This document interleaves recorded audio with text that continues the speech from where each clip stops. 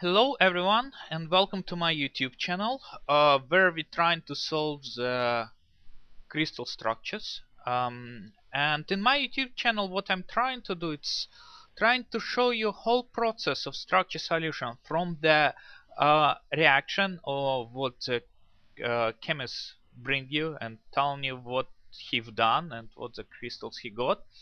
Until the end until the CIF file. Whenever you got CIF file you're ready to publish it so, um, of course, um, it's obvious by the name of the channel, it's we will focus on structure solution, on structure refinement of MOFs and MOPs.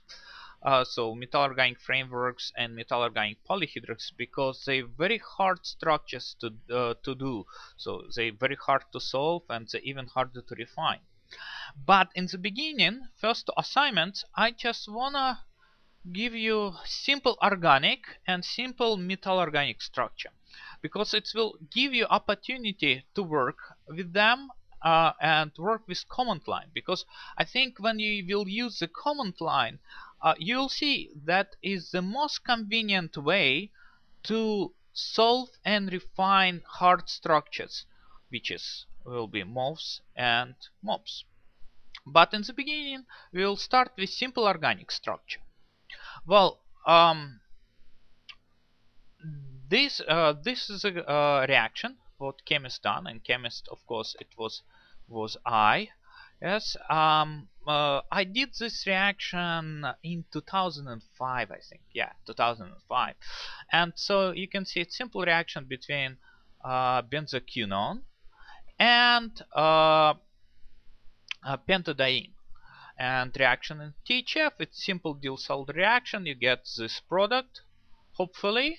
Yes and it's it have been crystallized um, from uh, um, I think it's again from THF or maybe CH2Cl2 but no I think it's from THF yeah and it was really nice clear uh, colorless crystals which I just took on diffractometer and I think uh, the structure data have been collected on SMART 1000 by Bruker uh, diffractometer and I solved the structure and later on I have been published. So we will go through whole process except we will not of course we will not we will skip the step when we collect the data and we'll skip the step um, when we integrate the data.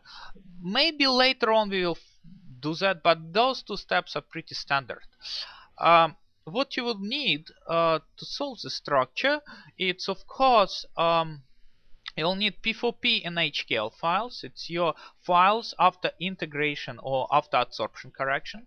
You need to have installed SHELX software, and which is pretty standard for any crystallography. And you need some kind of a file manager um, with command line opportunity. So in my case I will use Far Manager and I'll show you why.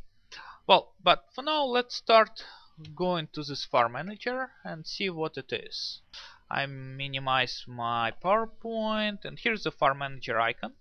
If you open it, so you can clearly see it's very similar to Norton Commander. So uh, the people who work with DOS can work um, in Far Manager without any problem. Uh, why why I like it? Well, because first of all, you have here on the bottom you have normal DOS command line, so you can start any of your SHELX program down there.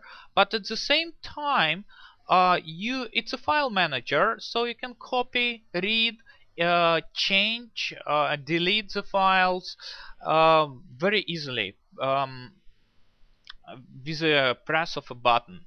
Yes uh, also what is nice about it you can work in it pretty much without using a mouse.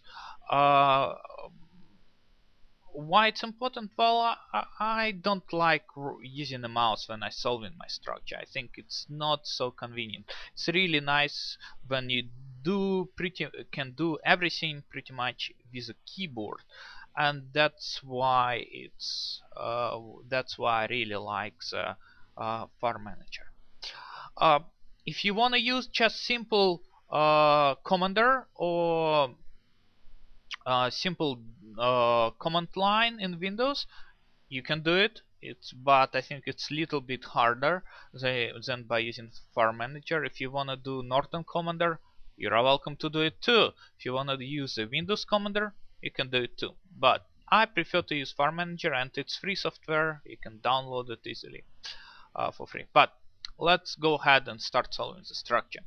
Well, first what I want to do um, in Farm Manager, yeah, in File Manager you have a lot of uh, button combinations uh, which you can apply um, and I will try to sound it for you so you can repeat those combination and always be on the track with me. So what I want to press first it's Alt F9 it uh, allows you to go to the full screen regime and I really like to have it full screen so you can see uh, what happens during structure solution structure refinement process but okay here's you have two windows left and right so you can copy uh, files between those two windows. Uh, if you want to change between those two windows uh, what you would need to do is uh, press tabulation or tab. So if I press tab I'm automatically moving to another window. Press tab again in another window. Press tab again in another window. Okay. Uh, if you press enter uh, obviously you will open the folder. Folders are white uh, files are green red uh, brown and uh, light uh, blue. So white is a folder. And also you have this double dot. It means you go up. So if you press enter you go up on the folder. Again going up. Now we're in root. And let's go to my folder which called Andre and uh, here it's a folder with the structure files Diels-Alder so it's Diels-Alder reaction. And now I decided to call it like that. Well in this uh, folder uh, so what you would like to do all the time is to put your structure in separate folder all the time no matter what. Because uh, when you solve and refine your structure you'll have tons of files. And therefore you would prefer to have all the files correspond to the same structure in one folder therefore you can see each structure what I have in my folder it's separated so each folder corresponds to one structure so well, right now let's open this folder and see what we got. And here, how I told you, we have HKL and P4P file.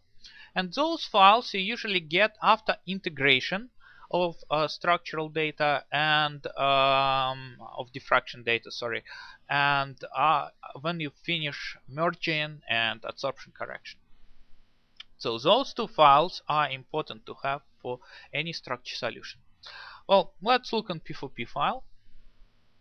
Well, P4P file, how you can see, uh, pretty much it's text file. To view it, by the way, you need to press F3, and you can see those buttons, uh, buttons on the bottom on numbers, uh, which correspond uh, each number on it correspond to the F button. So, for example, if I want to view the file, uh, I need to press F3. Yes, if I want to edit file, I need to press F4. If I want to uh, delete file, I need to press F8 and and so on. So if I want to use a file, I'm pressing F3.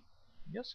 So um, you can see here uh, what the main thing about P4P it's contain unit cell parameters. They're located right here, and here's the unit cell volume, and this unit cell parameters. It also contain unit cell errors, some information how it was integrated. It was integrated as triclinic P where it was performed, on which diffractometer it was performed, when it was performed this experiment or at least integration been performed, and which source did we use uh, of X-ray uh, beam. So in this case, standard MOLY source right here. You can see MOLY and the wavelengths. Okay, let's go out. So you're pressing escape, you're going out. And HKL file, it's also text file. I'm pressing F3 and uh, in HKL it contains information about the reflections it contains H, K and L for the for each reflection uh, then it have the intensity and um, it have also the sigma uh, for each reflection. So pretty much this is it. That's two files what you need uh, to solve your structure.